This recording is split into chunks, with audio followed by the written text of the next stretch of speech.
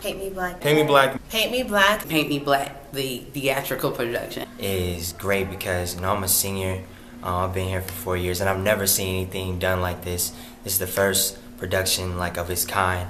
The first production that African Americans have had on this campus. This is the change that we want to see. So being a part of it, why not? Paint Me Black is, is something I never thought would happen at my time here at Oglethorpe. It's a way for us to break down that barrier. It's a way to embrace our culture. It's everything just embodied in one, and it all incorporates the, the black soul. Paint Me Black is an opportunity. Express the desires of those that have come before us. It's more than a celebration of um, black people. Paint Me Black it's Student written, um, produced, directed.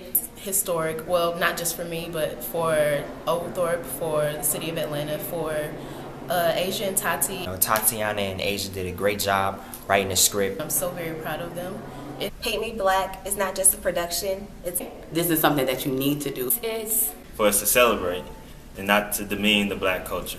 The, the black culture is, is more than, you know, a day or years. It's a lifetime. This is something that we all come together to complete this puzzle that that's missing from Oglethorpe. So stay connected, make make a difference, make a life.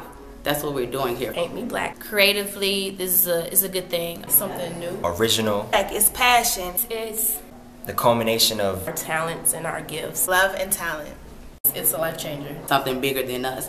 It's spoken word. It's bigger than life. Blessing to the Oglethorpe campus.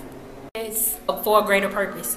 innovation, relevance. film, music, and It's dance. Acting. Paint Me Black to me is It's the black essence. It embodies what black people experience in their day-to-day life at all times. and I had to be a part of it. We we've been practicing and we've been going over lines. I'm excited and it's such an honor to be a part. Glad to be a part of this production to really show what the black culture is. This is probably the proudest moment of my life, being a part of this. And I love it.